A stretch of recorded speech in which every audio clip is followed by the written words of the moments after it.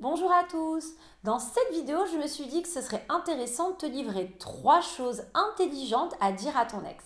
Très souvent, tu vas avoir tendance à pédaler dans la semoule et du coup à dire des choses qu'il ne faut pas, faire des interdits.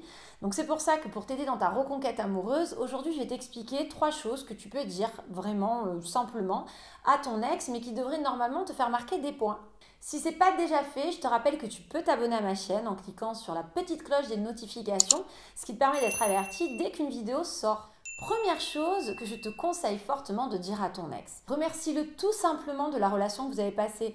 Au-delà l'électrochoc que la rupture a pu peut-être te provoquer aussi, tu peux aussi relater tout ce qui t'a finalement bonifié quand tu prends du recul sur la relation que tu as pu passer à ses côtés. Très souvent, un ex qui va te quitter, c'est très bien qu'il n'a pas forcément le bon rôle. Déjà parce que tu vas pas forcément te gêner pour lui montrer au départ que tu es très malheureux ou malheureuse de cette situation, que tu dors pas, que tu manges plus.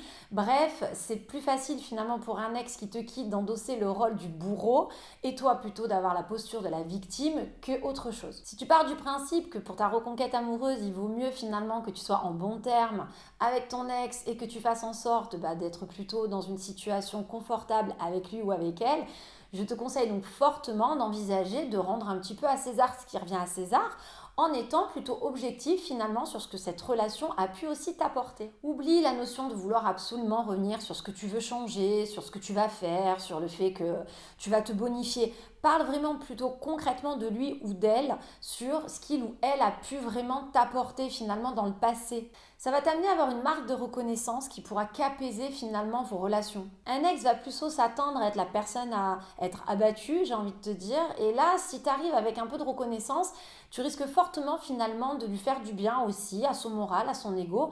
Et commence pas à penser qu'en faisant ça, du coup, bah, tu lui donnes toutes les chances de partir et de guérir plus vite. Au contraire, tu te donnes plus de chances finalement qu'il ou elle se rapproche un petit peu de toi. Quand je te dis se rapprocher de toi, c'est pas le fait qu'il te redonne une chance du coup tout de suite, mais c'est le fait qu'il soit peut-être plus apaisé avec ta réaction, ta façon de voir les choses. La reconnaissance fait beaucoup de bien pour la personne qui la reçoit. Ton ex peut pas imaginer qu'aujourd'hui tu sois reconnaissant ou reconnaissante de ce qui est en train de se passer.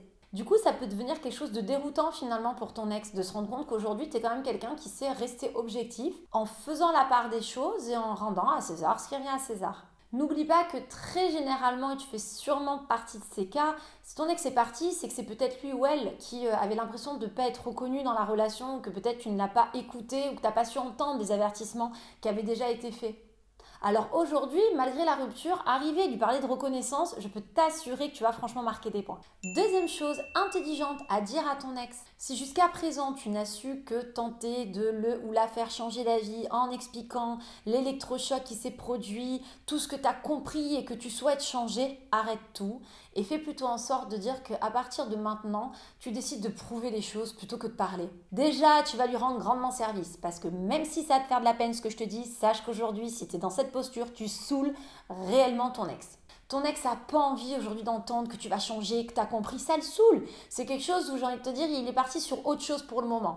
Donc l'intérêt pour toi, c'est de susciter son intérêt aussi. Et quand on veut susciter l'intérêt chez quelqu'un qu'on a bien saoulé, il vaut mieux quand même finalement se taire parfois et être plutôt dans l'action. C'est pour ça que dès demain, tu peux tout à fait ou envoyer un message ou euh, parler à ton ex en l'expliquant tout simplement que tu voudrais t'excuser d'avoir beaucoup parlé de toi, de ce que tu souhaitais faire, mais que c'est vrai que maintenant même toi, tu étais fatigué de tout ça et que tu as juste envie de prouver à la terre entière que tu t'es bonifié et que tu tiendras dans la durée.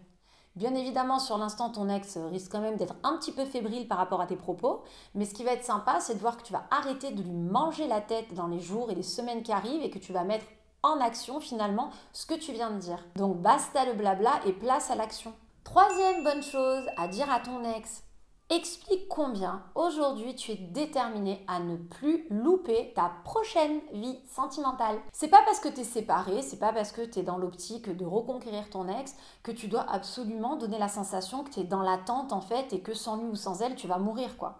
Tu peux tout à fait euh, renvoyer l'image de quelqu'un qui serait quand même intéressé par un retour éventuel, mais euh, sans pour autant donner la sensation que si euh, cette personne ne te redonne pas une chance, t'es voué à l'échec ou aller finalement rentrer dans un couvent. Quoi. Expliquer à ton ex qu'aujourd'hui tu es vraiment motivé, déterminé à ne plus avoir d'échecs sentimentaux, c'est un joli pied de nez aussi pour montrer combien aujourd'hui tu es capable de donner le meilleur de toi-même. Et puis ça peut aussi permettre à ton ex de te rendre compte que tu commences enfin à te projeter ailleurs, sans lui ou sans elle. Et j'ai envie de te dire que c'est pas forcément mal, parce qu'après tout, il sera peut-être plus attentif à toi, à essayer de voir en effet si ça vaut vraiment le coup de te laisser partir définitivement. N'oublie pas quand même que je pense fortement toi qui regardes cette vidéo, qui fait partie de 99% de tous les cas que j'ai en ligne, que tu as eu l'électrochoc surtout quand ton ex t'a expliqué qu'il ou elle décidait de partir, alors qu'il a sûrement eu des alertes au préalable. C'est donc bien la preuve que parce que tu as eu chaud aux fesses, tu t'es mis à un moment donné à prendre conscience de certaines choses qui en fait étaient des évidences. Et eh bah dis-toi que pour ton ex, c'est peut-être pareil. Peut-être que d'imaginer que tu arrives enfin à te projeter ailleurs sans lui ou sans elle, bah ça provoquera un petit quelque chose, un petit sursaut. En tout cas, ce qui est sûr, c'est que réellement, sans fierté, tu ne peux pas laisser entendre à ton ex que toute ta vie dépend de lui ou d'elle. Alors tu marqueras forcément des points si tu lui montres que tu es capable aussi d'aller de l'avant. Allez, j'espère que cette vidéo va t'éclairer. Si c'est le cas, pense au petit pouce d'encouragement, à t'abonner à la chaîne si ce n'est pas déjà fait, à penser à bien cliquer sur la cloche des notifications pour être averti à chaque sortie de mes vidéos. Je te rappelle que dans la description de cette vidéo, il y a un petit lien euh, qui te ramène à une évaluation gratuite que tu peux remplir, à laquelle je réponds toujours pour t'apporter mon aide. Et en attendant, je te dis à très bientôt pour la suite de mes vidéos.